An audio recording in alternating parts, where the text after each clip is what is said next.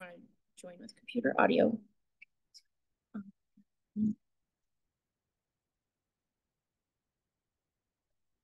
Uh, a, a quick question for the city. I want to be sure I'm understanding uh, what we're looking at in terms of in terms of the law here. My understanding is, Your Honor, yes. I'm sorry to interrupt. I wonder, there is one preliminary matter Oh, okay. that we wanted to address with you. Sure. Uh, and that is the city filed a, a new staff report uh, a week ago. And uh, I quickly prepared after I received it a response to that new staff report. Uh, and I sent that to Noah yesterday afternoon. Um, I'm advised by from him today that uh, he has not provided that document to you. The reasoning, as I understand it, is that um, he's he's taking the position that we had to submit all of our materials 14 days before the hearing. The problem is he didn't file his staff report until a week ago, seven days after that 14 day period expired. And since we carry the burden of proof, I think it's imperative that we have an opportunity to address the staff report that frames uh, the city's position in the case. Uh, and so I, I requested that. Um, uh, the city asked me to delay it and raise it with you now. I asked that it get to you before the hearing so you could review it. But we are where we are. And so I just wanted you to be aware that um, I have prepared the response to the city staff report. I think I'm entitled to have that reviewed. I've submitted it to the city. And unless they've changed direction, my understanding is they haven't provided it to you. Okay. Um, so I, I have not seen uh, any any response to the staff report. Um, anything from the city on this? Yes, thank you.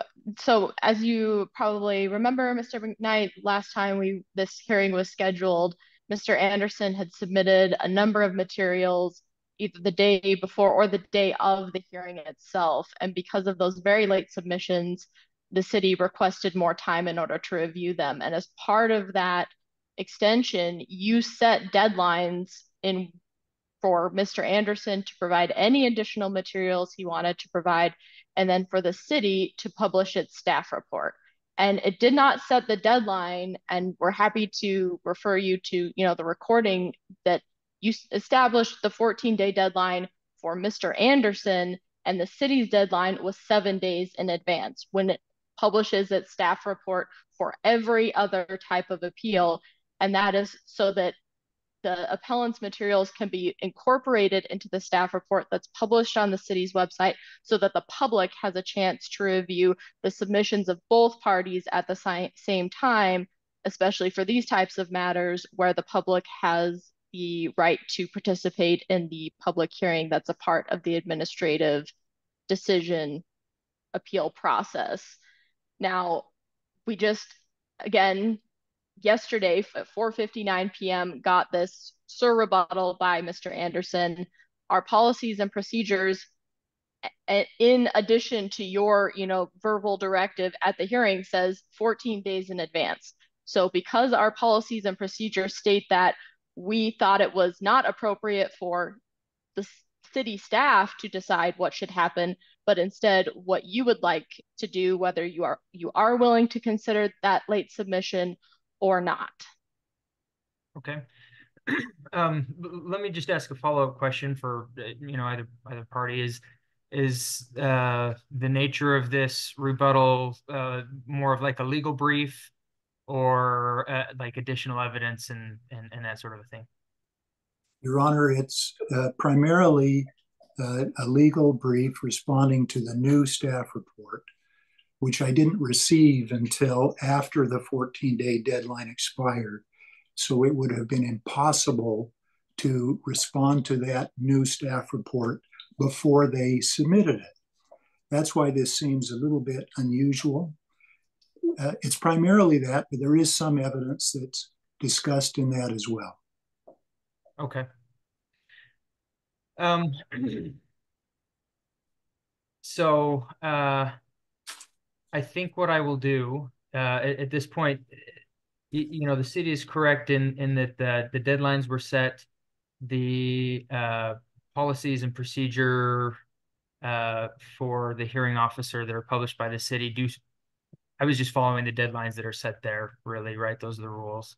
Um, having said that, um, and I just lost it here. I had it up, but um, in those uh, policies and procedures, it does um, allow for uh, additional material to be submitted uh, after the hearing, um, additional submissions, um, uh, or or in this case as part of the hearing. And so I, I will go ahead and receive uh, that information as well. Um, I obviously haven't had a chance to look at that, um, but if the city will forward that on to me or uh, I'll, I will take a look at that as part of the decision in this case. Thank you, Um, Your Honor. Having said that, if there are any factual things that the city feels like it needs to to address or rebut, well, um, I'm open to a motion for for a submittal from them on that. I I don't want to go back and forth forever, obviously, as far as um, you know, we can argue eternally, I'm sure. but uh uh also want to be sure that all the parties have a chance to to present all, all, all the evidence that they feel is necessary. And so um I will receive that if, if the city feels it absolutely necessary to um, to supplement the record uh, as to the evidence based on that. I I, I will consider, you know, a motion. Um, Mr. McKnight, well, based on, you know, the submission that we've received so far, I don't think that's necessary. I think it's mostly Mr. Anderson repeating arguments that he's made in prior submissions.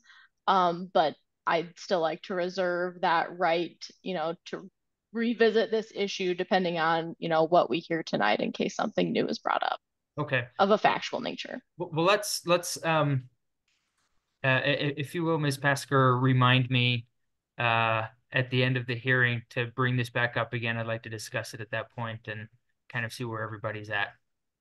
Great. Okay. Um, a- anything else uh, preliminary preliminarily from the parties? No, Your Honor. Okay. Um, so, uh, kind of a preliminary question that I had, and just to be sure that I was, I'm, I'm on the right page, uh, literally here, is I want to be sure I understand kind of the legislative history of this, of the ordinance that we're dealing with. Um, and, and so I'm going to ask the city to, to clarify for me if, if what I'm understanding is correct, and that is that um, section twenty-one A thirty-four zero two zero, the Historic Preservation Overlay District section, uh, was was changed by ordinance sixty-seven. And then, um, it sounds like it may have been changed since then. Is that correct?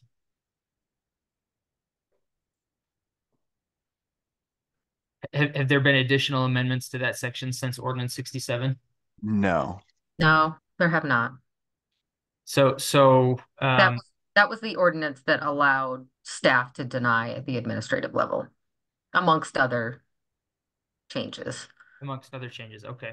The And then- standards of review were not changed as part of that ordinance. Okay. So, so, and, and, and to be clear, when you say standards of review, we're talking about subsection G? That's correct. Okay. But it looks like maybe subsection E was changed? Uh, if that is, yes, Okay. yes. As part of ordinance. It was clarified, yes. Mm-hmm. And then, And um, slightly changed, yes. hmm so I guess kind of a follow-up for that is, um, is it possible that the city could provide me as an additional submission as well, like a red line of ordinance sixty-seven so that I can see what was changed and all of that? Absolutely. Perfect, thank you. Um, Could I, Your Honor, could I get a copy of that as well? yeah, if you'd forward that on to Mr. Anderson as well, that I would appreciate that. We'd be happy to do that. Thank you. Okay, Just to make sure I'm clear about what it is that you're looking for, is it just that subsection or the entire? I, I, I'm interested in, in, in all of ordinance sixty-seven, yeah, I- I'd, I'd like to see anything as it relates to, to section twenty-one A thirty-four, uh, zero two zero. Okay. Yep, thank you. Got And, and, and you don't have to scramble for that right now necessarily, I, uh, just want to be sure I'm clear as I'm, as I'm writing the decision as to what, what was what. Absolutely. Thank you. Um, all right, so uh, with, with that kind of out of the way, I, I'd like to go through kind of the normal hearing process. Well, I, I'd like uh, Mr. Anderson to present uh, whatever he'd like to. I'll turn some time over to the city to do the same. We'll have public comments and then we'll we'll allow each of the parties to to address anything that was made in public comment or or or that was otherwise uh, said. So, uh, Mr. Anderson, go ahead and, and kick off for us. Thank you.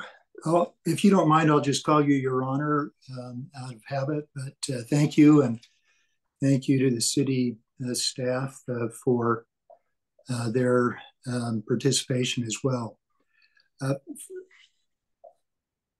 first of all, the argument that I'm making is primarily a legal argument.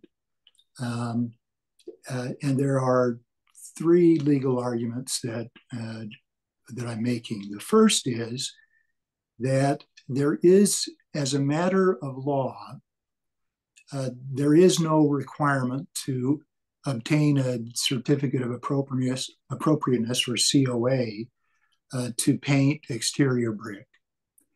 The second is, even if there were that kind of a requirement and um, a certificate, a COA is required, as a matter of law, under the statutes, the ordinances as they exist, um, there is no uh, right for the city to deny that COA in this case under its own ordinances. And third are a couple of procedural issues that, that we'll get to um, uh, as we go through those. But starting with the first one, uh, as a matter of law, no COA is required to paint exterior brick. Um, all of this falls under the auspices or the heading of Utah Code 10 9A 801, uh, sub 3, sub C, which says that a land use decision is illegal if the decision, A, is based on incorrect interpretation of land use regulations, uh, B, conflicts with the authority granted by this title, or C, is contrary to law. It's my opinion that this um, ordinance, as interpreted by the city, uh, that's the um, uh, MC 21A.34.020.E, that ordinance um, is both incorrectly interpreted, so it's incorrect uh, in its interpretation, and it's contrary to law. Uh, and the same is true with the issues on whether a COA could be denied under subsection G of that same 020. So, with respect to why, as a matter of law, the ordinance uh, does not require a COA, uh, the starting point really is a um, statute, a rule of statutory construction that is imposed by case authority and by statute that is sort of uh, has omnibus coverage on any issue dealing with the restriction of the use of a property owner's property. So when there are ordinances involved that would restrict the use of the property owner's property, this law applies. And uh, let me just uh, read quickly the, the provision. First of all, by case authority, the court has said, quote, because zoning ordinances are in derogation of a property owner's common law right to, to unrestricted use of his or her property, provisions therein restricting property uses should be strictly construed, and provisions permitting property uses should be liberally construed to favor the property owner. Uh, that was a, a, case of Patterson versus Utah County. It's a Utah Court of Appeals case. It's cited in the materials. The Utah Supreme Court subsequently adopted and emphasized that holding, stating, quote, since zoning ordinances are in derogation of a property owner's use of land, any ordinance prohibiting a use should be strictly construed in favor of allowing the use. So that's this omnibus overriding um, case law that applies to statutory and interpretation of ordinances restricting property usage. Uh, there's also an, an, ordinance that applies to um, applications, land use applications that are made. So that would apply to the second argument I'm making, the subsection G of 020. Uh, and that and that provides that um, when a city is reviewing uh, applications, land use applications, uh, it anything that isn't plainly stated must be strictly construed against the city. Uh, so, so that's at the 30,000 foot level, the law that governs this proceeding. Now, going beyond that quickly, and I'll run through these fast, uh, but uh, and as you review the memorandum that I submitted yesterday in response to the new staff report, uh, this will be covered. Uh, but um, secondly, the case authority states specific statutory provisions prevail, that's the word used by the courts, prevail over more general provisions. So in a, in a within a particular ordinance, specific provisions prevail over more general provisions. Um, in this particular case, there's uh, in section 020.e, the first sentence is very, uh, very general. And as Your Honor knows, it says to the effect that um, alterations uh, should not be made to um, exterior, uh, to the exterior of a property with, without a COA. And then the next sentence is very specific. And it says, I'll read you the language. Uh, the next sentence says that um, certificates of appropriateness, this is quote, quote, certificates of appropriateness shall be required for, and then it lists 13 subparagraphs that uh, specify when COAs are required. Uh, none of those requires that um, a COA be obtained to paint exterior brick. The case authority in Utah uh, that I've cited is Osawala Vietna Life. It's in materials for the full site. It says that, quote, specific provisions prevail over more general expressions. And those, that section that says certificates of appropriateness shall be required for, and then list the 13 circumstances. That is very specific and it prevails over the more general. Um, next point, just to move through quickly, the case law also, uh, in a similar vein but different, says that more specific ordinances prevail over more general ordinances. And so we're not talking about within a single ordinance, but if there are two different ordinances in the city's uh, municipal code, one that deals specifically with a topic and another that deals with it peripherally or generally, the more, the more specific ordinance governs. Um, so uh, the purpose of section E, 020.E, is to define when COAs are required. We just talked about what that language says. There's a general sentence, and then there's the specific language that says certificates of, of uh, um, appropriateness are required for, and then it lists the 13 circumstances. Uh, the city has referenced another uh, provision of its municipal code. It's 21A 04 030G. Uh, excuse me, not G, just 030. And that provision uh, doesn't deal specifically with certificates of appropriateness. It deals instead with building permits and demolition permits. But it does contain uh, kind of a stray sentence, the last sentence of that uh, section, that ordinance, that deals uh, with certificates of appropriateness.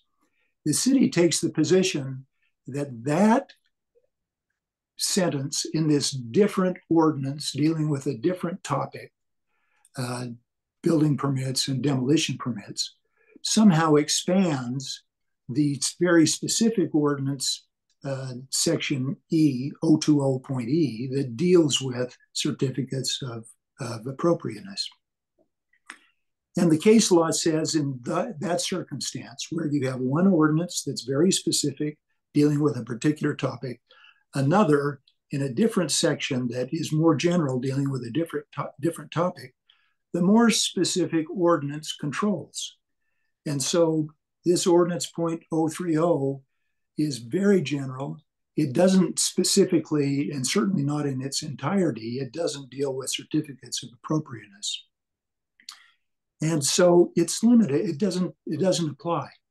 Uh, the more specific uh, controls. I point that, that out only because the city raised that. I don't think it adds anything to their position. I think it's a bad, a bad argument that isn't supported by the law. And in fact, that provision, as the city reads it, would mean that any time any project is undertaken that enhances, quote, enhances value or excellence of a property, uh, then that requires a certificate of appropriateness, a COA. Well, that means that any interior any interior improvement requires a COA. It means that replacing carpet would require a COA. It means that washing interior windows would require a COA because they add value and certainly improve the excellence of the property. I mean, it extends to so many things that are far beyond the scope of the specific provision, subsection E, uh, that it, it doesn't apply. And that's what the case law says. There are about six or seven cases that are cited here, neither in this section or the one I just finished talking about, where the general provision of the same ordinance is prevailed over uh, by the more specific. Uh, the city hasn't responded to the cases cited, it hasn't distinguished them, it's just ignored them. Uh, next point. Uh, this is related, but again, slightly different. Specific ordinance provisions control over general policy statements or statements of intent or preambles. Um, I think at the very best, uh, uh, giving all deference to the, the city's construction, the first very broad sentence of this ordinance is at its best nothing more than a statement of intent or policy um, or just a very general preamble. Uh, and in that event, essentially, uh, the provision is saying that uh, the first sentence says uh, that um, alterations to structured exterior structures, sites, and properties are subject to COAs. And then the next sentence says, which limits, uh, which are limited to the list which follows. And the list is the 13 paragraphs that we discussed. So by that, by that statutory construction rule as well, um, the requirements for COA are limited to the, are limited to those 13 paragraphs. Next rule of construction, the doctrine of ejusdem generis. generis. It cuts against the city's position. That doctrine is again similar but different. And that doctrine establishes that if there's a general catch all provision that is either preceded or followed by a list of specifics, the meaning of that general catch all provision is limited to the um, to the content, quote, content of the terms of the list, close quote. Uh, the Utah Supreme Court has ruled on this doctrine recently uh, in 2018, the uh, Geomet Watch case cited in the materials, and it says, this is the Supreme Court speaking, in its simplest terms, e justem generis posits that general catch-all terms appearing at the beginning or the end of an exemplary statutory list are understood to be informed by the content of the terms of the list.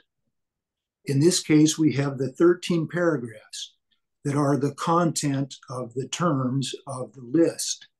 And so they narrow, they um, limit the question of when are COAs required. They're limited to the specific content of the terms of those paragraphs. Uh, next, and I'll, this will go faster as we go along, Your Honor, but uh, statutory construction avoids unnecessary provisions. Did you have a question? No, no go ahead. I okay. Okay. Um, it avoids it. Uh, ordinance should be construed or interpreted to avoid unnecessary provisions or superfluous provisions.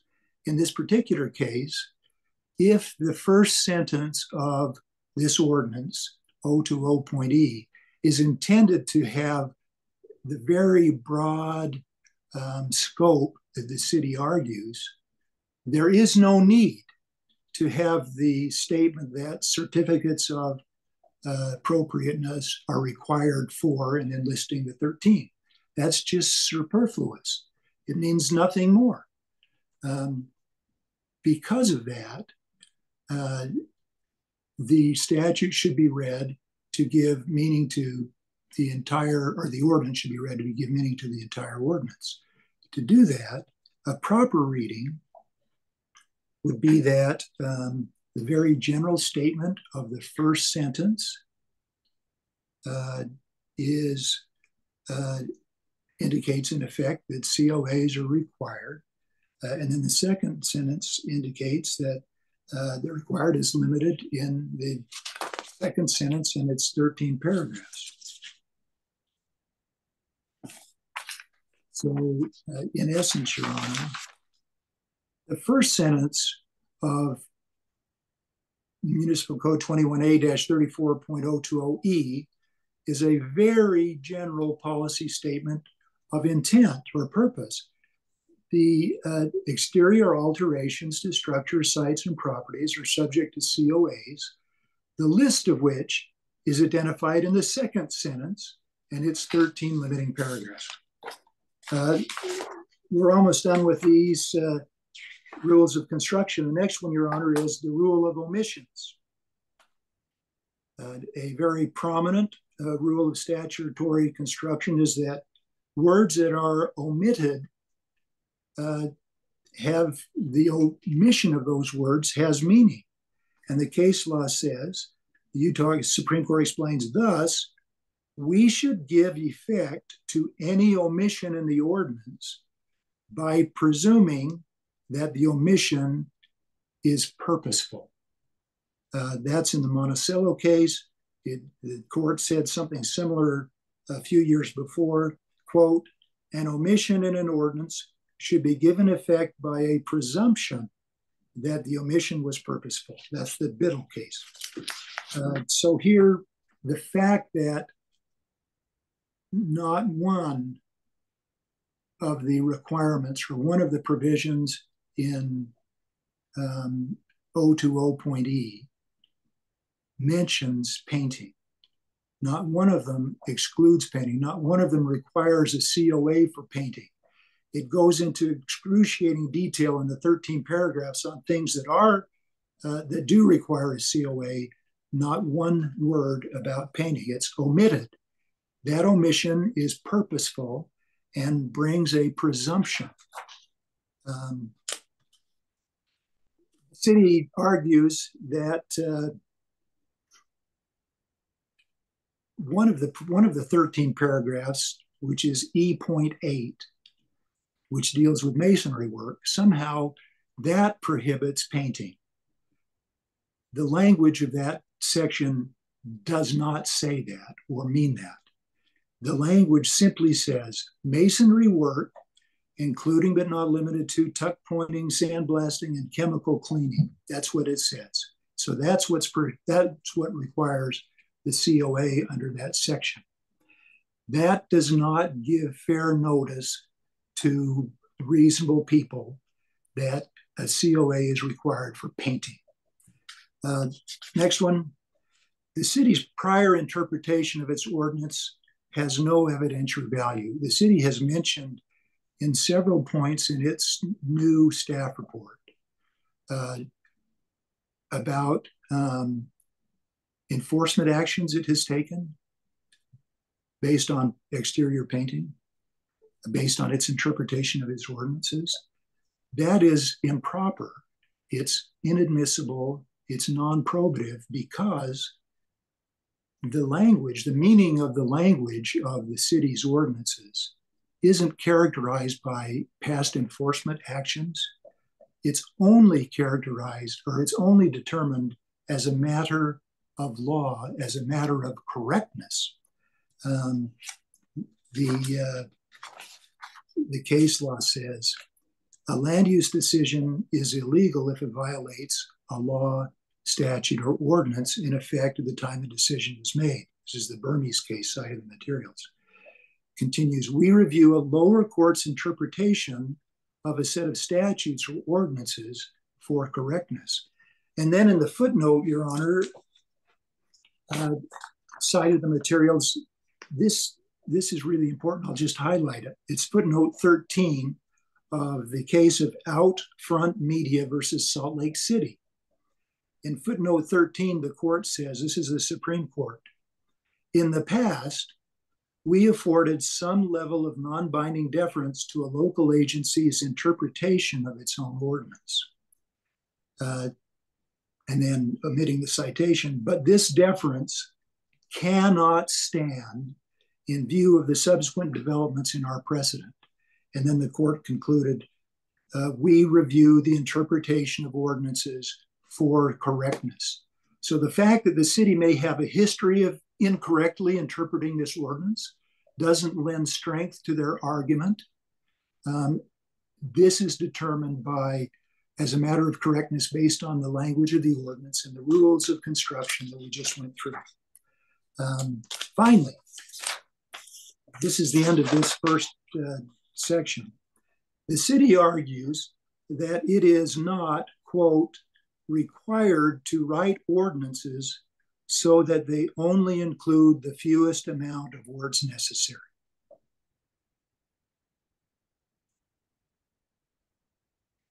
And it says that.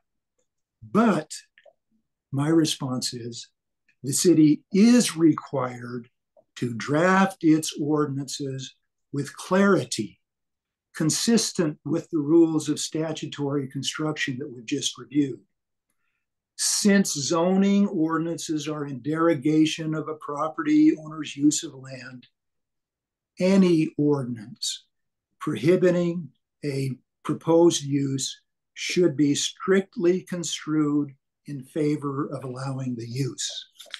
Um, so that, Your Honor, is my position on why there is no certificate of appropriateness required for painting exterior brick. The city says, well, how could we make it any more clear?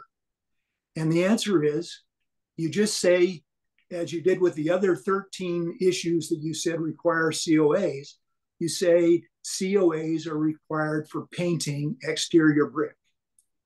It's as simple as that. The city's revision of its ordinance that Your Honor inquired about a few minutes ago, that to a certain extent, resolves that issue. So the the issue we're talking about today is limited in the sense that the ordinance is now different. The city has amended it and been more clear, but at all times applicable to this matter, the ordinance was not sufficiently clear. The city could have fixed it. It controls the legislative process, but it didn't. So that's why, as a matter of law, a COA is not required. Second point, um, even if it were required, a COA is not. You there. Sorry, Yes, I've just got a question. And and um to a certain extent, this is a little bit unfair because it's not an issue that was brought up by either of the parties, but I am curious what what your position is on it. Um is is the fact that an application for a certificate of appropriateness, the fact that it was submitted, is that does that act as a waiver of any kind as to the argument that it wasn't required in the first place? Oh, it's not a waiver. Um, that issue was raised and preserved in our statement of issues on appeal. The city um, filed uh, a, um, I'm trying to think of the term they use, uh, uh, an Enforcement order, action? enforcement action, thank you, to correct the problem. Uh, I, I called the enforcement officer as I was asked to do in the enforcement letter. The officer said, what you need to do is file this application, which I filed. And so that's why that was done. But it is with the reservation of rights. And, and this issue was preserved in our notice of issues on appeal. Okay. It, it, it, the reason I ask is um, it, that seems like an argument that would would be stronger in an enforcement ac- action, right? If if you're at a hearing there, and I, and and I'm going to be honest, I'm not entirely familiar with the city's procedures on enforcement actions, but um, if there is an enforcement action uh, saying, "Hey, uh, you you painted this, you needed a certificate of appropriateness to do this," um, isn't that the correct forum to bring up the argument that a certificate of, of appropriateness isn't required in the first place? Well, it certainly could be brought there. We haven't reached that point in the enforcement action. Um, and so it, it hasn't been raised in that action at this point.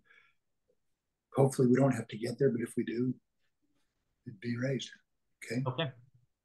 So the next point is uh, even If I if it's can still- respond, Um, eh, go ahead and make a note, Ms. Pasker, and and I'll I'll let you do that. Uh, I I- I think um after after Mr. Anderson's had a chance to present everything, that's all right. So uh, even if a COA were uh, required, which we which it isn't, um, it's not prohibited uh, by uh, for painting exterior brick. It shouldn't be denied for painting exterior brick. Um, and uh, it fails for the same reasons as we've discussed above in the prior argument. Um, the city's interpretation of the particular section, which is its municipal code 21A 34 or dot 34 dot 020 G. So G are the standards on issuing COAs. Uh, fails for the same reasons because the statute, the ordinance rather, never mentions in any one of the 11 standards that um, COAs should not be issued for painting exterior brick or they should be lit, issued cautiously. There's no mention of painting exterior brick in any one of those 11 standards. Um, the city's response to that uh, is, well, you've got to look at the design guidelines and read those in connection with the design standards. And they've cited, uh, I think, three uh, design guidelines. Not one of them mentions that you cannot paint exterior brick. Um, the city focuses primarily the closest the closest it comes to finding any support uh, in the guidelines is in guideline 2.6 uh, and uh, Uh, the city says that particular guideline means that if a particular brick structure has not previously been painted, the brick of that structure can never be painted. That's the city's position. That is not what Design Guideline 2.6 says, not close to what it says. This is what the guideline says. Quote, masonry that was not painted traditionally should not be painted. That doesn't mean that if a particular house hasn't been painted before, it can never be painted. It means that if brick generally was never traditionally painted, then it can't be painted. Actually, it doesn't refer to brick, it says masonry. So, masonry that was not traditionally painted cannot be painted. The city has indicated, and we, we agree, there are a number of types of masonry that are covered by the city's code. There's not only brick, there's cinder block, there's terracotta, there's adobe, there's stucco, there's concrete, there's natural stone, there's cultured stone. There are a whole host of types of masonry. If there is a certain type of masonry that hasn't been traditionally painted, maybe stone, maybe terracotta, I don't know what it is, but if there's a certain type that hasn't been traditionally painted, then that shouldn't be painted. But one thing is certain brick, exterior brick, has been traditionally painted. That is attested to by over 300 painted brick residences in the historic district. Um, resin painted brick residences that date back a 100 years. And so to say that um, brick can't be painted is not only inconsistent with the language of the ordinance, but inconsistent with the actual facts on the ground, the painted brick buildings on the ground, on the same street where this duplex is located. And this is just the width, this is just the length of the street within the historic district. There are 54 painted brick homes. They're all around the subject property not immediately on either side, but beyond that, by a, a residence or two, and directly across the street, there are a number of them. And the full length of the road, these brick homes are found, and not only on 200 West, where the duplex is located, but throughout the entire neighborhood. Your Honor, we submitted earlier in this case um, a document that's in the record. Um, I'll just hold this up so that it appears on the screen for a minute. Okay. Um, you can see that it's entitled Painted Brick Houses in the Capitol Hill Historic Preservation District and Capitol Hill Extension. Yeah, I've got that pulled up here. yeah, this this goes through.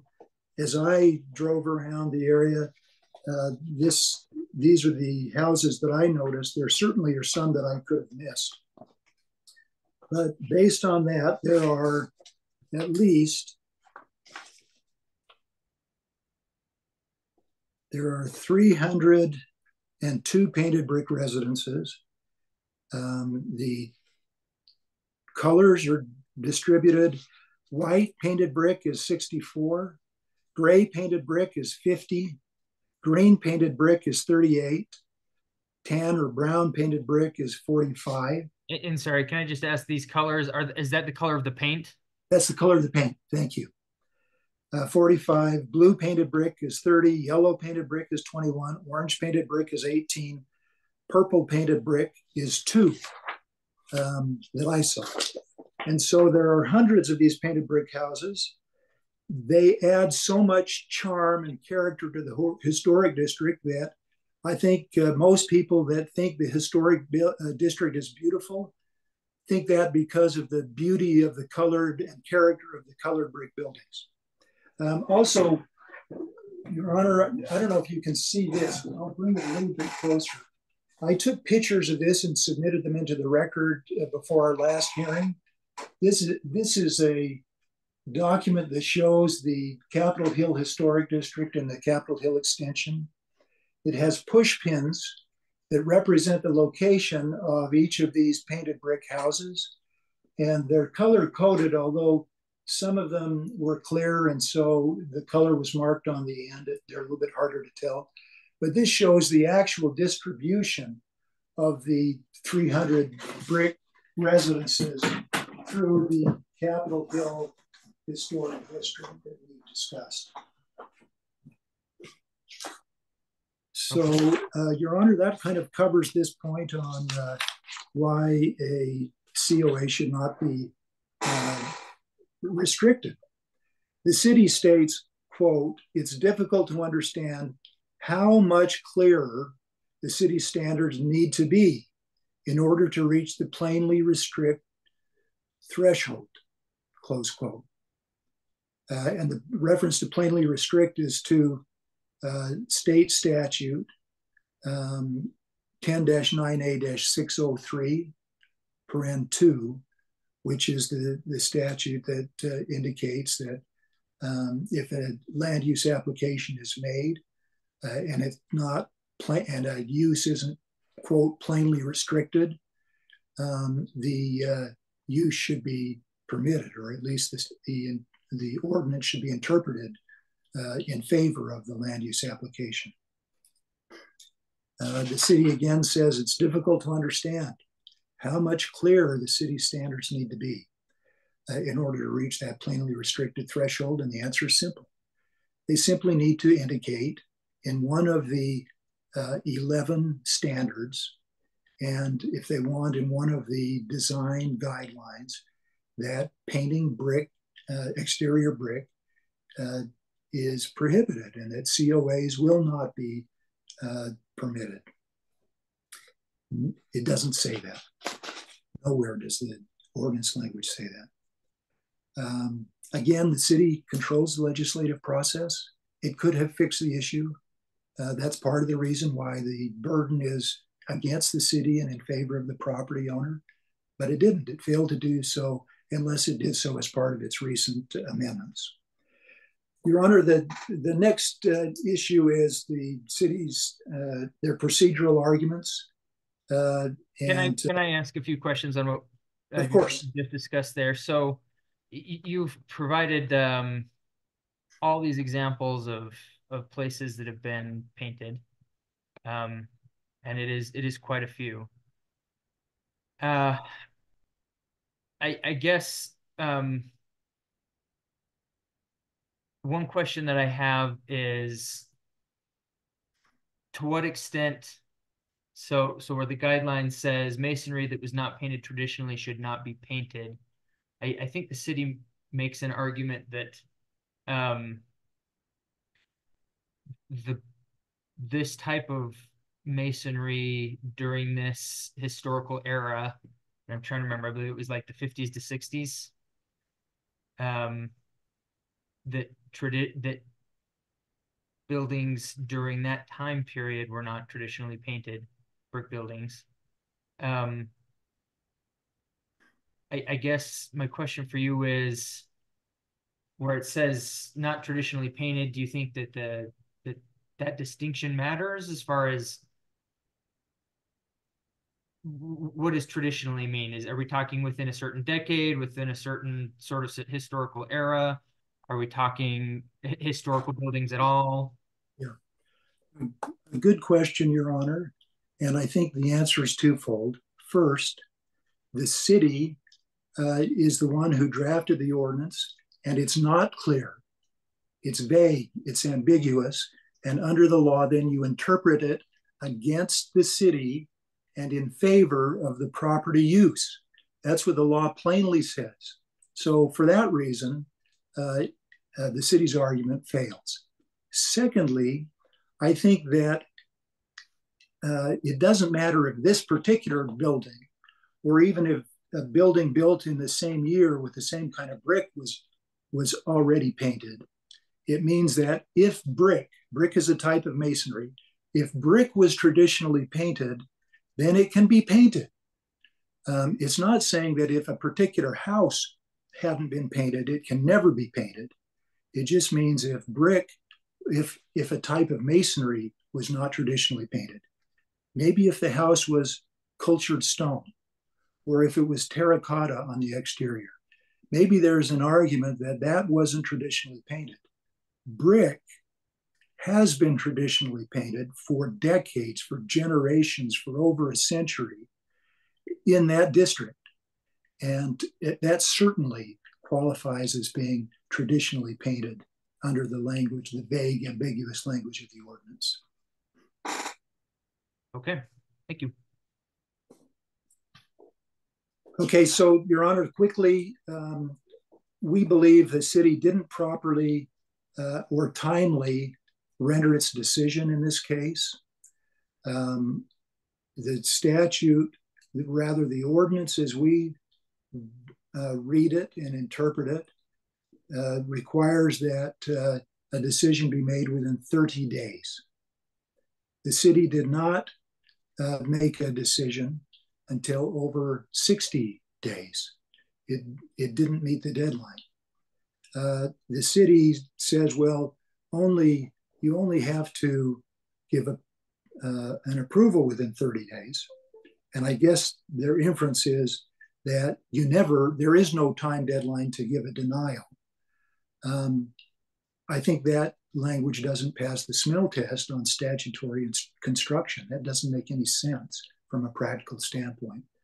It would be improper to um, get a to have the right to get a response within 30 days and not to be able to get a response within six within 60 days or six months or six years no deadline the city also has argued uh, that um, it did in effect give a uh, response within 30 days because it sent to to uh, me uh, noah elmore sent to me i think about december 6th or 7th or maybe 13th somewhere in that time frame a letter providing uh, initial their initial or his initial reasoning uh, i responded to that and uh, on december 6th december 13th maybe even a little bit earlier and said is this a decision because if it is i want to know so i can file my appeal he wrote back and said no this isn't a decision there has been no decision. When a decision's made, we'll get a hold of you, and it came several weeks later. So uh, I don't think it's fair for the city to say that the decision was timely made. Uh, in any event, Your Honor, um, in addition to that problem, the same, oh, the city makes one other argument, and that is even if there were a mistake made, it's a ministerial, innocuous problem uh, no harm, no foul. My response to that is the city has said several times in their papers that uh, if an ordinance is mandatory, it has no choice. It has to comply with the ordinance. This ordinance is mandatory. It says the city shall um, uh, provide that within 30 days. So uh, Next, uh, next argument is that the same provision says that the decision needs to be based on written findings of fact. The decision that was submitted ultimately by the city has a section labeled findings of fact, but they aren't findings of fact, they're conclusions of law. And so that requirement that mandatory shall requirement uh, of providing findings of fact supporting the decision wasn't satisfied. Um, next point, Your Honor, is just a, a general argument uh, that the process that the city has implemented here. I'm sorry, can I? yes. I, I, I want to ask about this procedural issue. Sure. Um, I have a couple questions about that if if if you're kind of moving on to of the course. next point. Um, so I guess I'm struggling with no, no question the ordinance says that it, it needs to be uh, approved within 30 days. It doesn't necessarily needs to be say it, it needs to be denied within 30 days, but but let's assume it does or or, or treat it as though mm-hmm. that is that is what's required um, I, I'm struggling to determine like what's the remedy for a violation of that. um, if if the city doesn't send out a decision within those 30 days, um, what makes automatic approval of the application the appropriate remedy as opposed to so for example i've i've uh, seen in other city ordinances um, situations where if if the city doesn't make its decision by the deadline that's outlined uh, the remedy is that the application is considered denied and the applicant can move forward with the appeal process to kind of get the ball rolling or whatever. Um, I I don't know if if uh, Salt Lake's ordinance uh, specifically provides that remedy in any way, but um, why should the remedy that you're requesting be granted as opposed to to something a little bit less extreme? Well, I guess the answer, Your Honor, is it goes back to that overarching principle of law that we talked about at the beginning.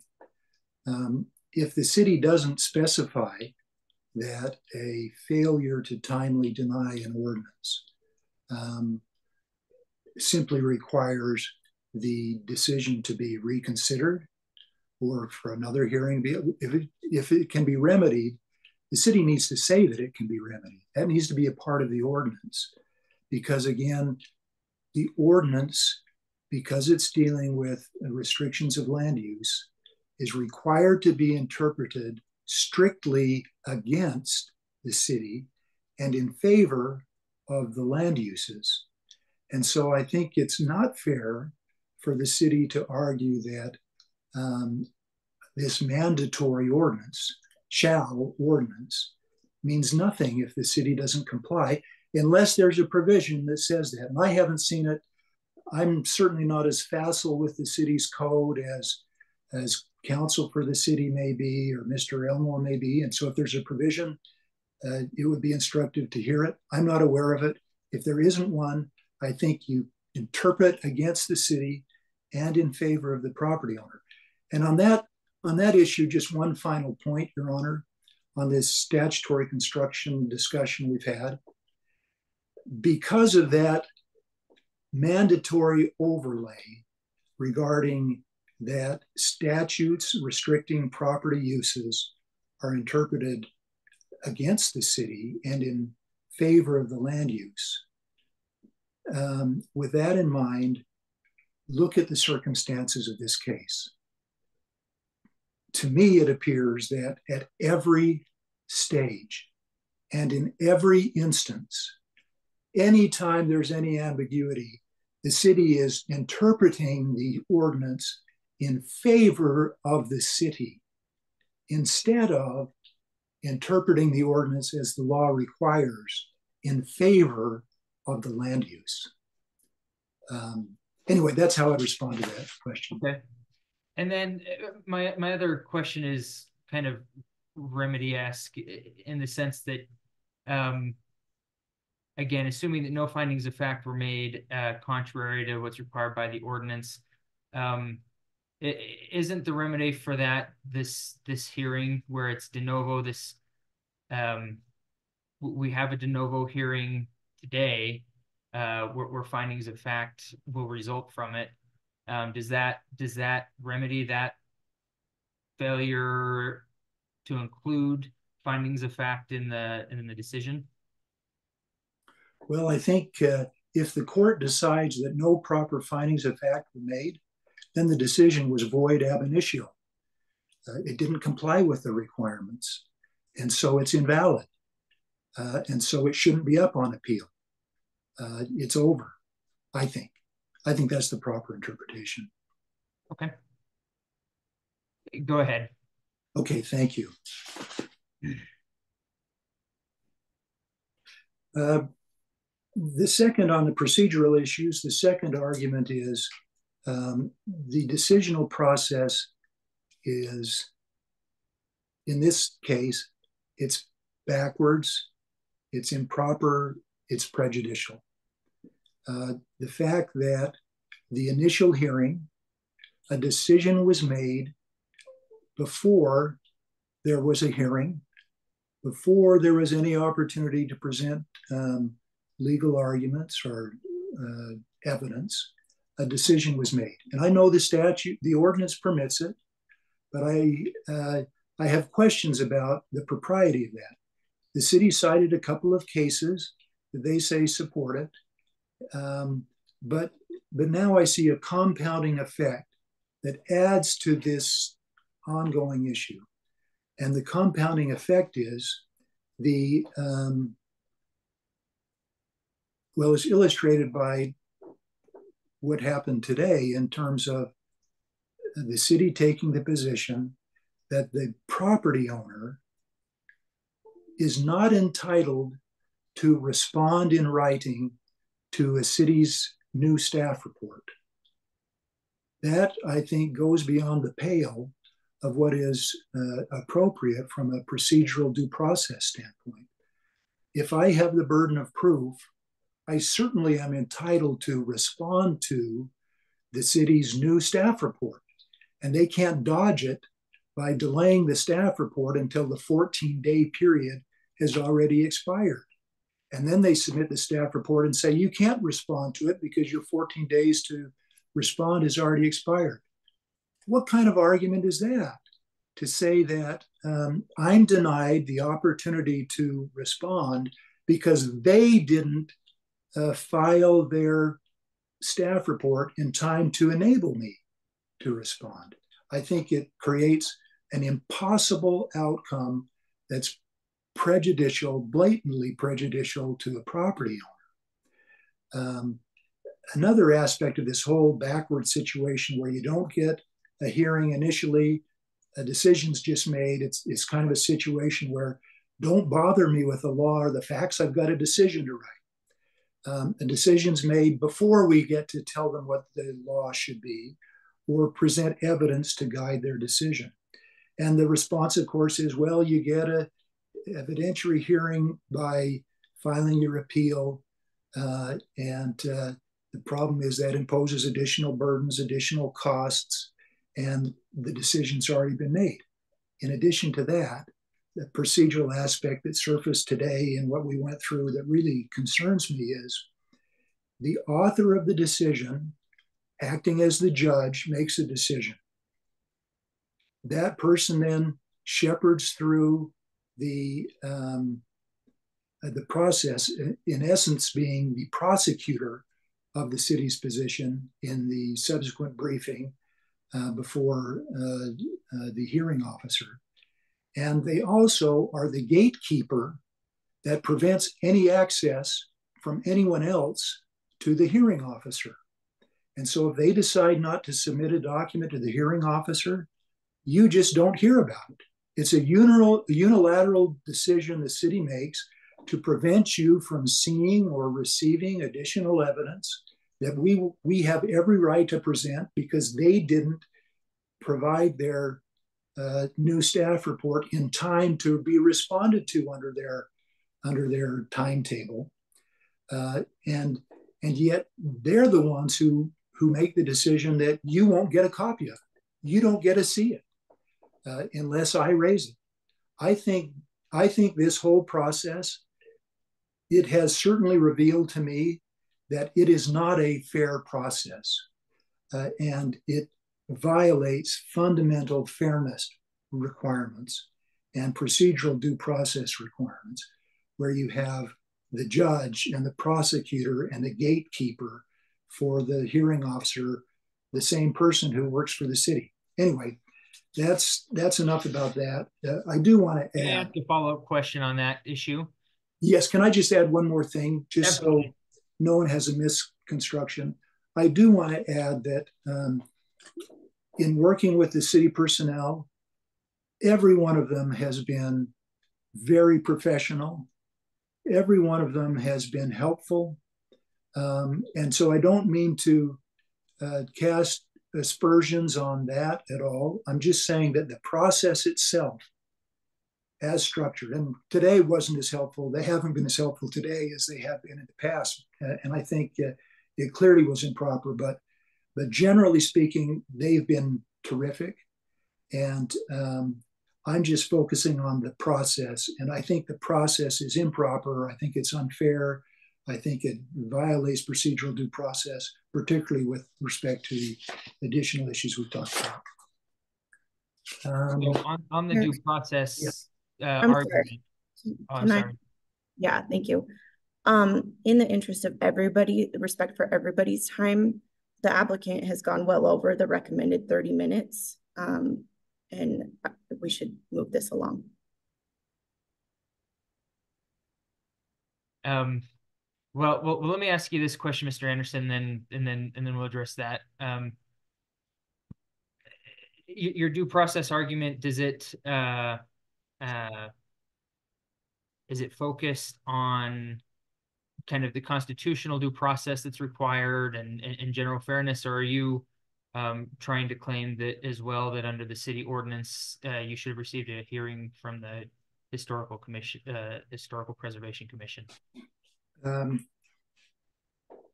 I would respond by saying I wanted to hear have the hearing by the historical commission. I requested that. Uh, the city told me they would not permit that. That instead they'd use this process. Uh, so I've been unhappy with the process from the start, particularly where I requested a hearing, the opportunity to present evidence. And but um, in response to your direct question, uh, I'm not aware of a uh, an ordinance that um, aids my argument in particular, other than the, the timing argument of the city based on when the due dates are. If that's what the position of the city is, if that's what the ordinance really says, if I can't respond to a um, new filing by the city as important as a staff report, because they've constructed a time frame that makes it impossible because they don't have to file the staff report until the deadline for me to respond is passed. That I think does create that ordinance aspect of it does create uh, a fairness and a due process problem. Other than that, I'm, I think it's primarily just based on common law as opposed to city ordinances. Okay. And, and then I'll just ask, are, are, are you close to having addressed what you wanted me to hear or? Yeah, Your Honor, I'll, if I could just take five more minutes. I've got That's fine. one last section that the city raises in their new staff report. It talks about has paint has brick been painted traditionally. We've covered that already, and so I won't cover it again. Okay. Uh, but uh, I think you understand the issue. Talk about paint formulation. Um, uh, the city continues to argue that you can't paint brick because it seals in, it traps moisture, uh, and uh, to the contrary, if you paint if you paint brick with the wrong kind of paint, that may be true. But uh, that's an old issue that's been resolved by the development of uh, special paints formulated by the uh, prominent paint manufacturers that allows that's made for painting brick. It allows moisture to pass uh, so that it's not trapped in the stone causing damage. Uh, and uh, we've submitted an expert witness report that discusses that. Uh, not only was the proper paint used, the proper painting system was used to avoid those kinds of problems.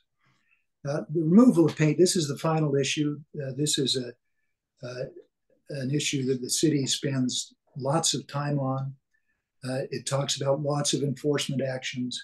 As I've discussed before, I think discussing enforcement actions is improper because it has no probative value. You don't interpret a statute based on what the city has done in the past. In terms of enforcement actions, you interpret it based on the rules of statutory construction. Um, in any event, uh, the city indicates that, that there is this new chemical treatment process that removes paint from brick. Um, and they say it can be done without causing damage to the brick. In reality, it causes damage to the brick mortar, significant damage to the brick mortar. I've spoken with one of the property owners uh, that was involved in that type of a process at the requirement of the city and uh, uh, was told that it causes significant damage to the mortar and the cost of that process is exorbitant. It's $30,000 for uh, a duplex the size of the duplex that I have. Thirty thousand dollars. That's the chemical removal process. That's the, the chemical removal process. Oh, oh, okay. Um, even if, uh, even if otherwise that was okay, it's prohibited by a mandatory city ordinance.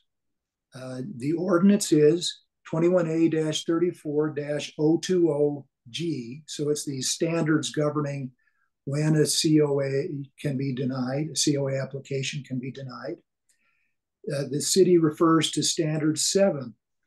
Uh, and uh, uh, ironically, standard seven cuts against the city's position because it says that, quote, chemical or physical treatments, such as sandblasting, that cause damage to historic materials shall not be used.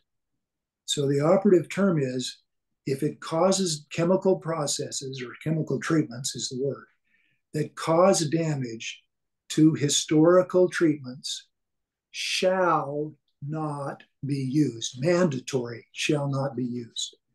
In this case, even the city now admits that this process causes damage. Uh, they say, uh, I think their term is minor or something like that, uh, damage to the brick mortar. The statute doesn't care. The statute doesn't require significant damage. It simply requires that cause damage to the historic material. The city has acknowledged in the past that mortar is a historic material in the brick masonry process. So with that, Your Honor, um, I appreciate your time and patience and uh, thank you for your uh, attention and comments. Thank you for presentation, Mr. Anderson. Um, I'll turn the time over now to Ms. Well, to the city, Ms. Pasker, Mr. Elmore, whoever wants to start off there to uh, provide the city's response. I'll I can begin and then I'll defer any remaining time to my colleagues. I'll just start. This is regarding historic preservation. This is work done in a local historic preservation district. So I'm going to refer and discuss the historic preservation standards. So regarding standards two, three, five, the historic character, the historic character is not just two-story brick duplex as the appellant describes it. Um, when the subject duplex was built in 1953, it was the third of a series of three duplexes on 200 West, each constructed with an unpainted masonry finish, characteristic of the post-war period of significance. But the masonry is not just defined by how it is unpainted, but specifically its red, striated brick with flush, light-colored mortar joints. By painting over the brick, the masonry becomes obscured, makes it difficult to place the structure within its historic context. And because masonry was not painted prior to 2023, painting the subject building's bricks degrades the historic integrity of the brick and the entire structure. It does not reflect its true historic character, i.e., unpainted masonry characteristic and traditional of the post-war construction. When the guidelines plainly state masonry that was not painted traditionally should not be painted, this is what the guideline is referring to. This is why the very first bullet point included in the standard references a brick's hard outer layer known as the fire skin, which was specifically designed not to be painted. Does not mean that because one form of masonry may have been painted at one point in the past, then all masonry should be painted. And regarding standard seven, eight, and nine, standard seven stipulates chemical or physical treatments that cause damage to historic materials shall not be used, while standards eight and nine note contemporary design shall not be discouraged when they do not destroy historic material. And if an alteration were to be removed, integrity of the structure would be unimpaired. Paint is a treatment on masonry, plain and simple. Furthermore, it is a treatment which prevents the historic brick from functioning the way it was designed. You have that outer skin. Brick was designed to allow moisture to evaporate. Paint prevents moisture from evaporating and over time will irrevocably damage the historic brick material, potentially compromising the entire structure. Moreover, moisture trapped beneath the paint will cause damage to the masonry over time, shortening its lifespan. The proposed work does not comply with this standard. paint is not easily removed, requiring professional expertise and extra care. And when done without using the gentlest means possible, the brick may be further damaged. Finally, regarding the standards here, the appellant claims, sorry, the appellant, sorry, claims the paint used in this case will allow the brick to breathe. However, no evidence has been provided to staff substantiating this claim that the paint formulation eliminates all risk of damage. Paint would still not be appropriate regardless, pursuant to the guidelines as extensively elaborated upon in the staff report and further materials. Then just to speak a little bit further on the removal process, the appellant's materials include several claims regarding the paint removal process, including a witness report from a professional painter. One of those claims is that paint removal would violate the standards of review, um, notably standard seven. Standard seven does stipulate chemical treatments that cause damage to historic materials shall not be used. That's not the entire ordinance. It goes on to stipulate in the very next sentence, surface cleaning of structures, if appropriate, as in this circumstance, shall be undertaken using the gentlest means possible. The witness claims removal of the paint would not be possible without grinding a quarter inch off the brick face. However, multiple examples of paint removal, including striated brick as seen on the subject duplex, may be found within walking distance. Even, even you could even see them from the subject property. And those are documented in the staff report. The appellant, uh, instead of citing those other ones, cites a duplex at 217 West, 300 North as an example of how chemical removal allegedly damages the brick. I think it's worth noting that the paint at that property is being removed to correct a similar code violation following two denials by the Historic Landmark Commission. Furthermore, information the current concerning the precise process to remove the paint has not been provided, not to mention the process they are using appears to be unfinished. Um, there's simply insufficient information concerning a different property that's not this property to definitively ascertain the circumstances there. Conversely, the examples provided by the cities show that when using the gentlest means possible, as recommended by a qualified mason, as this is masonry work and not a painter, the paint is not only effectively removed, but the historic brick material is preserved as well. If the paint removal process were as noticeably damaging as alleged, then perhaps those buildings would have been pointed out. However, they were not. And then just on the note of other properties, uh, specifically those other painted buildings. As mentioned in the staff report, the conditions under which those other buildings were painted are ultimately irrelevant um, relative to the circumstances under which this property was painted. Um, Catherine, do you have anything you'd like to add, Michaela? Noah, can I ask you a question? Um, yes. As to the traditional uh, masonry that was not traditionally painted should not be painted standard. Um, is, is there something about this post-war period uh, that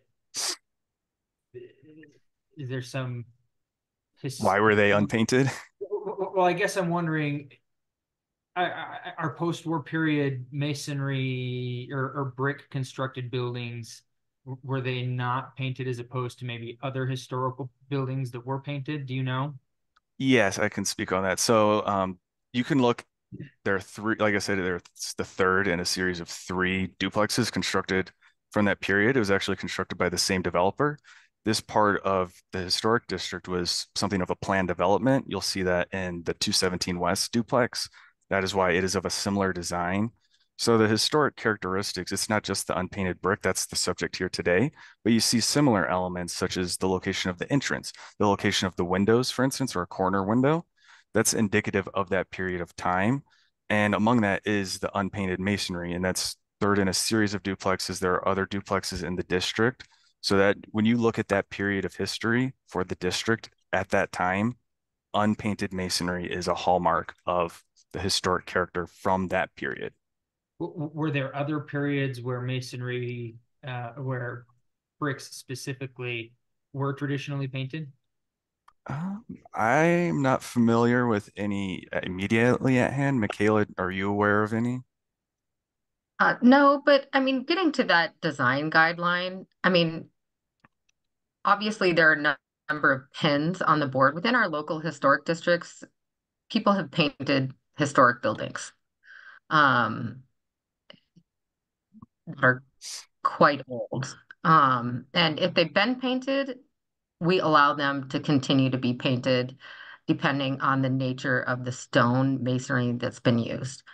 Um, getting to that design guideline of traditionally, I mean, traditionally is like traditionally wood is painted, right?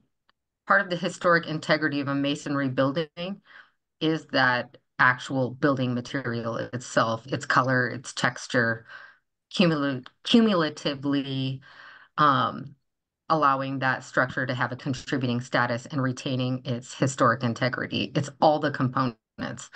Um, so traditionally can mean a past practice, right? Um, and a past practice, if it was traditionally painted, we would allow it to be painted before. It also means traditionally, um, sorry, I just lost my train of thought for a second. Um,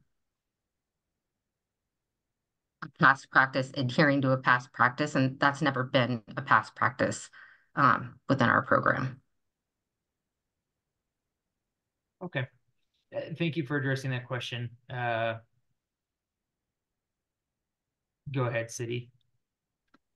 So thank you. Um, I won't repeat um, the arguments. I think the parties' positions are well briefed and extensively argued. Um, so I will not go in detail, you know, through in detail all of the city's arguments. I understand that you've already reviewed them and will have ample opportunity to do so after this hearing. I just wanted to touch on the few points that you asked specific questions about. Um, the first being, has you know Mr. Anderson waived the the argument about a COA not being required? And I agree that that argument makes more sense in the context of an enforcement action, but we typically, you know, rather than doing multiple appeals, um, we think it's best to just kind of um, group any challenges to what the um, zoning ordinance requires into you know one appeal just for administrative efficiency's sake and you know, avoiding inconsistent interpretations, inconsistent rulings on the same, um, basically very closely related administrative decisions. Okay. Um, you asked um, about the traditional, you know, what does painting brick traditionally mean in this context? I think the city applies that and interprets it as both, you know, whether that on a property level and on a district level. It's it's uh, analyzing has the masonry, various types of masonry on a given property, were those painted? And like Michaela was stating, then if they were, then they are continued to allow to be painted. And also on a district and looking at other um, properties of similar historical significance, are those painted? and those inform as well as the general you know directive of the historic preservation regulations to avoid completely unnecessary you know color change preferences like this that change the historic character like painting a house white those are to be avoided and i think the city as we wrote in our brief just fundamentally disagrees that you know color isn't related to historic character. It's very clear from the rash of, you know, home brick homes being painted white that that is an attempt to achieve a clean contemporary look. And that is directly contrary to all of the goals of maintaining a unique historic character of a district uh, like Capitol Hill is. Now, you asked, you know, why is automatic approval of the application of an appropriate remedy? And I think for at least three reasons, it's not an appropriate remedy. First, like we already covered, it's not provided by ordinance, that that's what Mr. Anderson's remedy is. Second, the remedy is that he gets to come to this hearing and present any and all, you know, arguments that he would like um, related to his application and was, you know, permitted by the 3rd of July, by May, and at the time he submitted his minor alteration application to submit any and all materials that he wanted the city um, or you as the hearing officer to consider. And Um, then, you know, um, is there any procedural defect that isn't cured by this hearing, in your opinion? Um, I will, I will get to that in Okay. just one moment on the procedural, um, due process arguments, because I think there are several layers to that. Um, but just on the automatic approval piece, it's also just not the appropriate remedy because Mr. Anderson was promptly informed that approval wasn't possible under the standards. And just because there was a delay in issuing the formal written decision, when he had already gone ahead and painted the brick. It's not like this prevented, you know, construction crews from doing work that should have been permitted. He had already done it impro- improperly and contrary to ordinance. So there's not really any prejudice here. And so approving it um, as a matter of law on a on a timing issue is just not appropriate. To the procedural due process issues, we've never prohibited Mr. Anderson from responding. That's simply not the case. That has never happened. He has been allowed to make any response and in this hearing has responded at length to all of the arguments the city has made.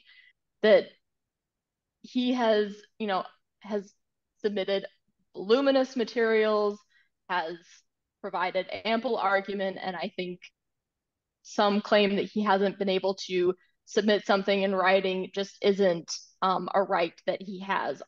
Courts don't have a unlimited deadline on when written submissions can be submitted. The city has followed its policies about when written submissions are due. Those are both so that the city can prepare the materials um, by staff in order to respond and as well for the public to be aware of what the party's positions are. And let's say even if there is a problem that, um, for example, if you had declined to allow Mr. Anderson to submit the surrebuttal that was submitted yesterday, the remedy is provided in 109A801 that if the district, if Mr. Anderson, um, if depending on your ruling is displeased with that and appeals to the district court and the district court says, yep, that surrebuttal should not have been excluded, then it can be included, you know, in the record before the district court. So that remedy is amply provided. But again, because Mr. Anderson has the opportunity to respond, and again, due process only requires notice and an opportunity to respond, not an endless opportunity to respond in writing. I think that um, procedural due process has been amply met by the city's processes and procedures. And just lastly, wanted to touch on, you know, the remedy not being appropriate, the remedy being removing the, the requirement to remove the paint.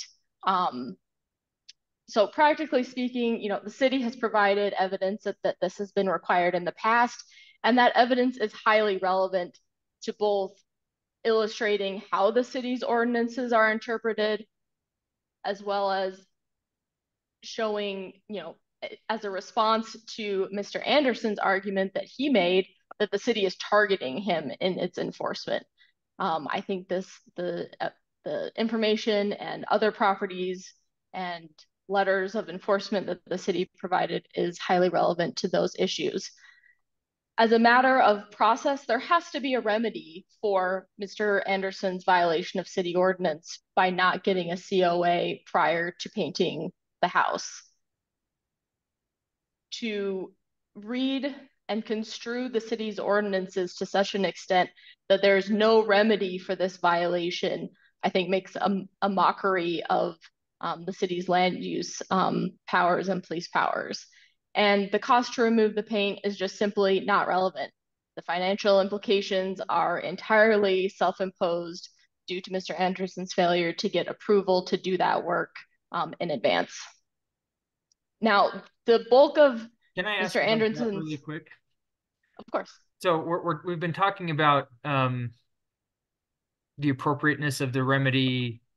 It, it feels like in in the enforcement action in terms of is is removal of the of the paint an appropriate course of action to take here? Is this is this something again that should be decided in in the enforcement action, or is this something the the parties are looking for a ruling on in this appeal?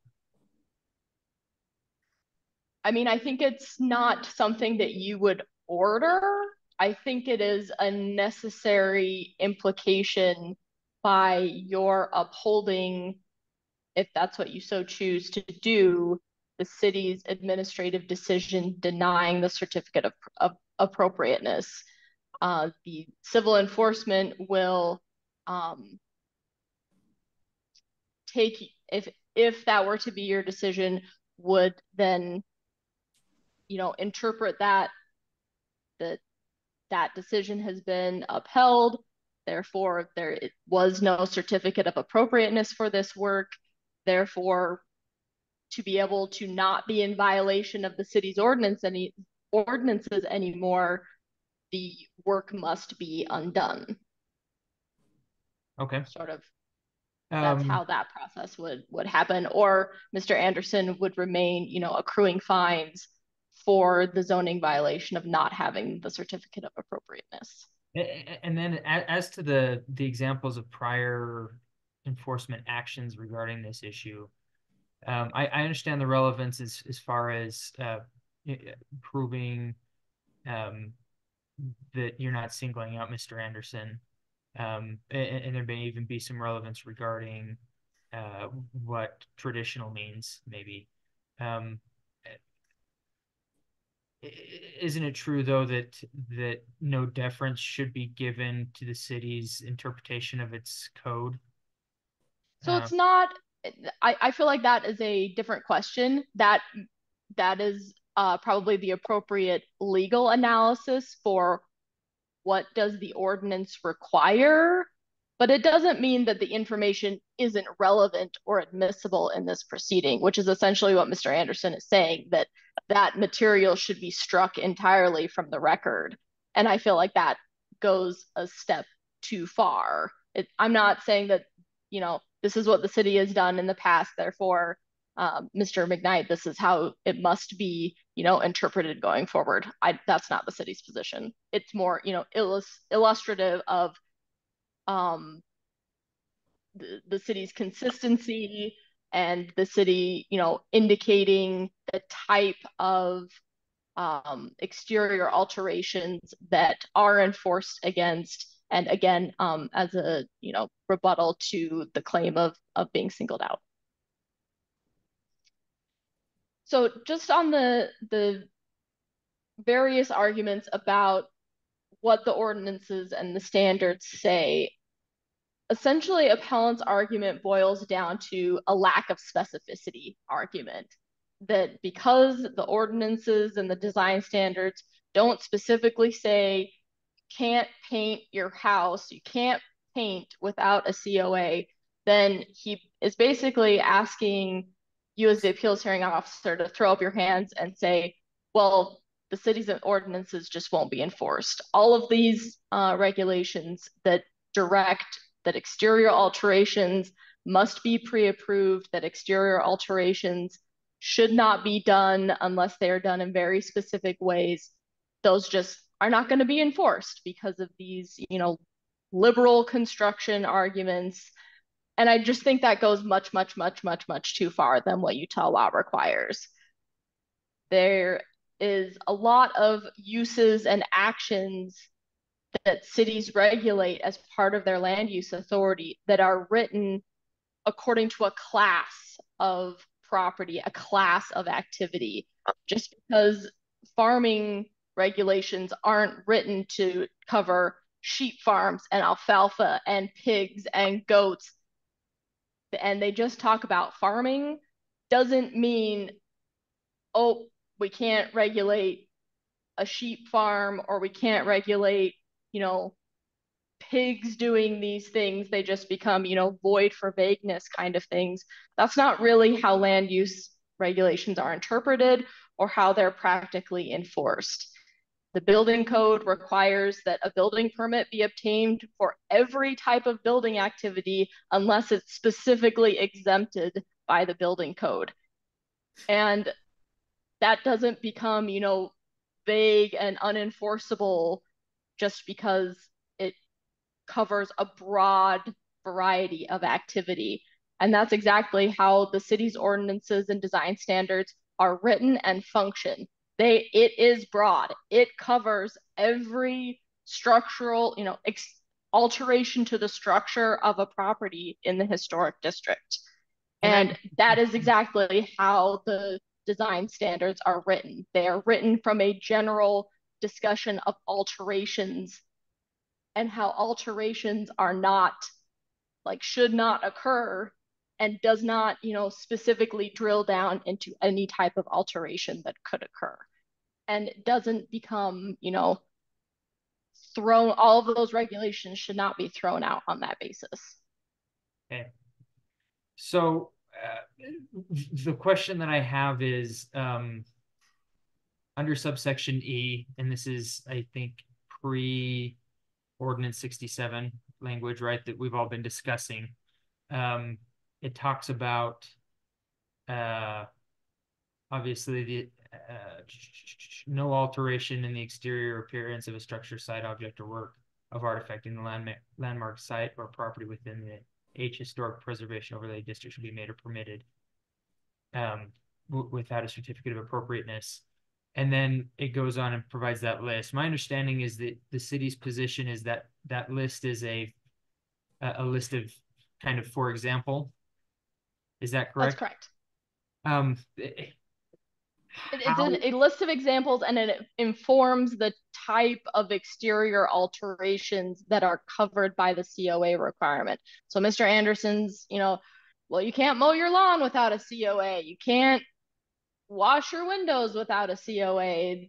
That's not of the type of alteration being covered by that list.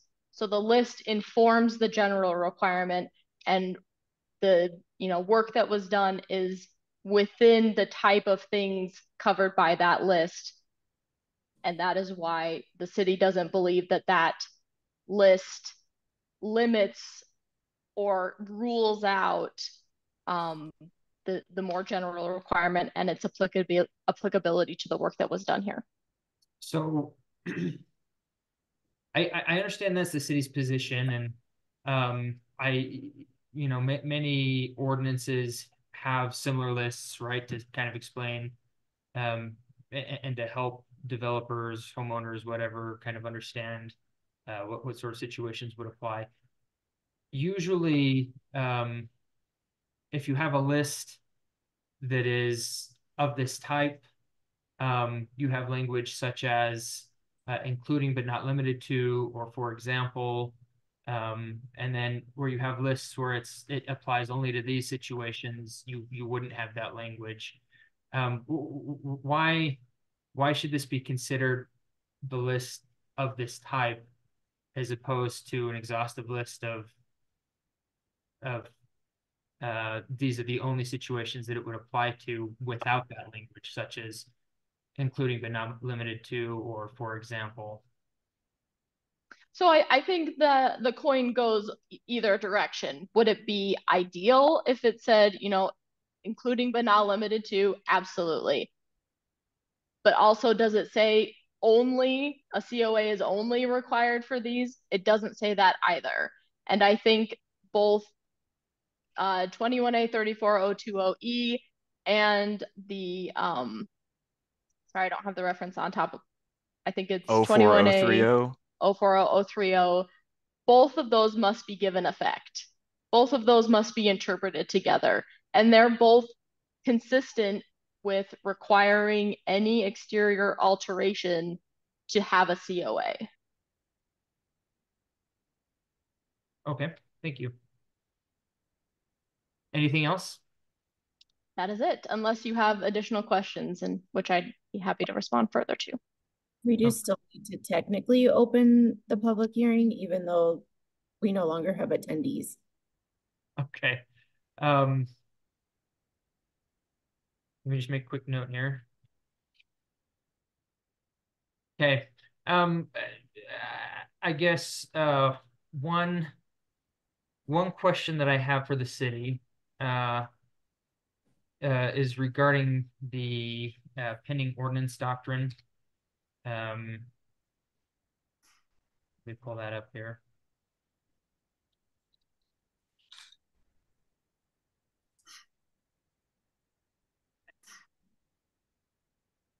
So in ten A, ten nine A five oh nine, uh, subsection one, um, A Roman numeral, uh, two, right? It talks about, um, kind of this, this, this pending ordinance doctrine where, um, if, if the city has initiated uh, uh, under subsection one A, Roman numeral two, subsection B.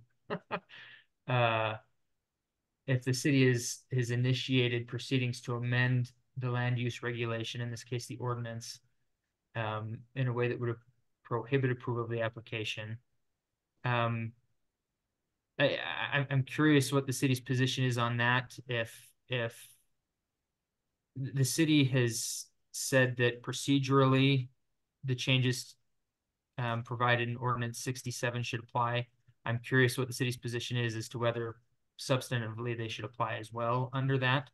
Um, and I guess one of my follow-up questions there is, does the city consider um, formal initiation of the proceedings to be uh, to have occurred on um, on February eighth, twenty twenty-three, when the mayor initiated the text amendment. So our position is that yes, it was formally initiated on February 8th. So on that basis, the pending ordinance doctrine doesn't apply because that would be more than six months um, since that application was made. But the statute, it, we interpret that statute as substantively we needed to review that application as we did under the pre-ordinance 67 standards, but procedurally we were permitted to um, review it administratively. Okay, perfect. Thank you. Uh, uh, nothing else from the city then? No. Okay. Uh, we'll now open this up uh, to for public comment. If anybody is here would like to make public comment on this. There is nobody in the attendees list. Okay. Um, where no one is here to make comment, I do see that public comment was a, a written public comment was included in the staff report. Um, but otherwise, we'll close the public comment period. Um, and uh, with that, I'll turn the time back over to Mr. Anderson.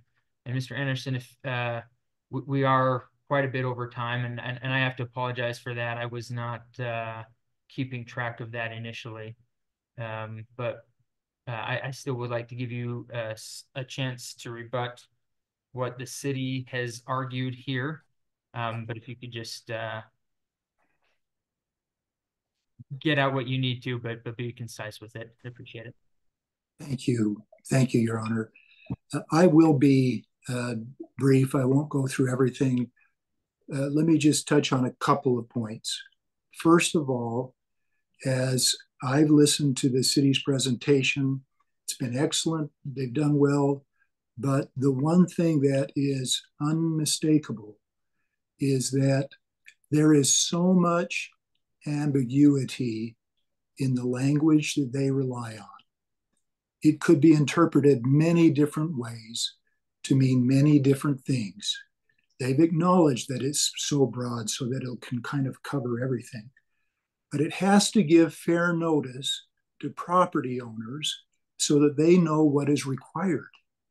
And not once in any of the ordinances that we've discussed uh, does it say plainly and clearly that you cannot paint exterior brick without a certificate of appropriateness, or that if uh, a certificate is requested, that it um, uh, can be denied for painting exterior brick.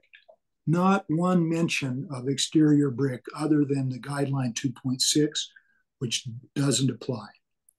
Um, remember despite what the city's saying about their efforts to try to cover what they need to cover, the law is crystal clear.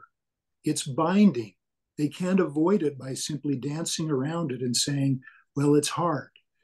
The law requires that if there's any ambiguity, if things are unclear, it's interpreted against the city and in favor of the property use.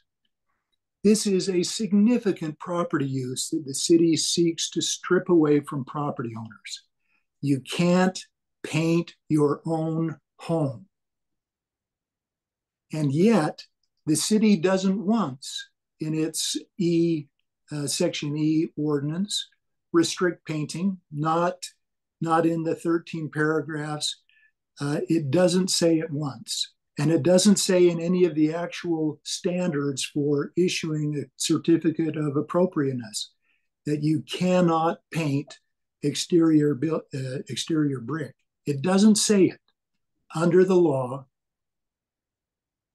you have to interpret against the city and in favor of the property use. Otherwise, the law is violated and the city's interpretation is contrary to law and illegal under 10 9A 801. That is the bottom line. And I think after the presentation today, as well as the city's done, they have just underscored the amount of ambiguity and the fact that it doesn't clearly state what they say it states. They have to give notice to property owners. That's point one. Point two is they made a reference again to, uh, I think it's 21A 04 030, which is this ordinance dealing with um, uh, demolition permits. And it has one phrase, one sentence, I should say, uh, that refers to certificates of um, uh, appropriateness. The city says those two are perfectly in alignment in reality, they're directly conflicting because E, section E, that we've talked about at length, um, is limited to exterior alterations.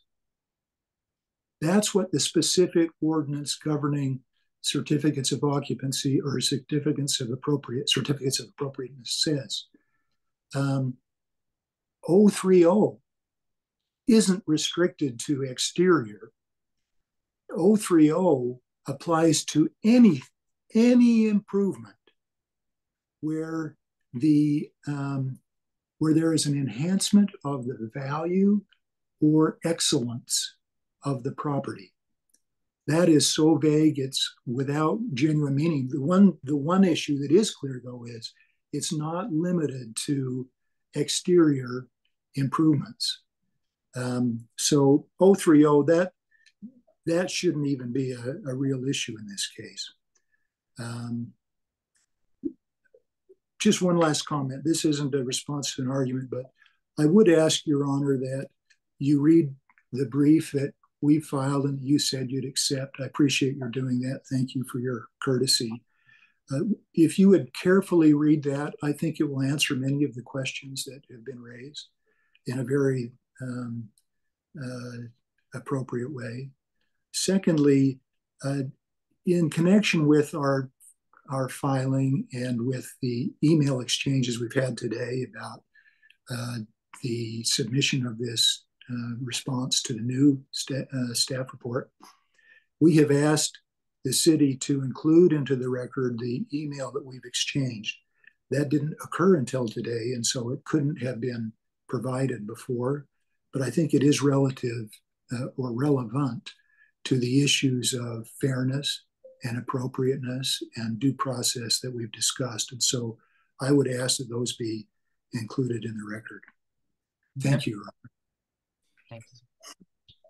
All righty. Uh, thank you, everybody, for uh, your, your presentations and argument. I it's helpful to um, to be able to ask the questions to clarify and and and better understand each each side's position. Um, uh, I I will take this under advisement and issue a decision. Um, I, I, before I do that, I would ask the city to forward on uh, Mr. Anderson's uh, response brief as well as uh, uh, email exchanges between he and the city, uh, which I will receive into the record. Um, at the very least for, for preservation of, of, of arguments there.